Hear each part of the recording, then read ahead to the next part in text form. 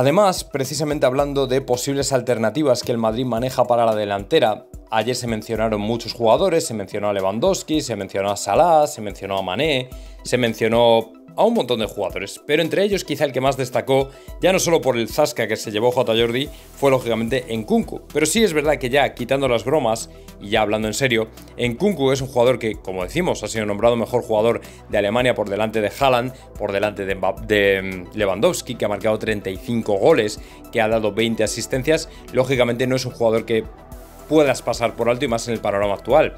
Mohamed Salah, Sadio Mané, lógicamente son gente son jugadores del Liverpool que sí que son muy buenos y tal y cual, pero al final son jugadores que tienen 29 y 30 años y lógicamente no tiene sentido ficharles, en mi opinión.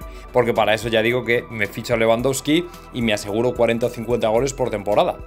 Pero en cualquier caso, si el Madrid no está buscando ese perfil de jugador, sino que busca gente más joven, pues evidentemente en Kunku creo que reúne esos requisitos junto con otros jugadores. Y desde luego aquí en el chiringuito ya, hombre, también se están viniendo un poco arriba diciendo que es el nuevo Mbappé. Como digo, si en Kunku llevara, por ejemplo, dos tres temporadas a este nivel, pues yo diría, hombre, personalmente creo que es un jugador que tienes que tener en cuenta.